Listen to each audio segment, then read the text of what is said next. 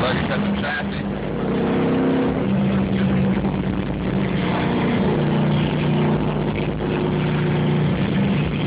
Thank you.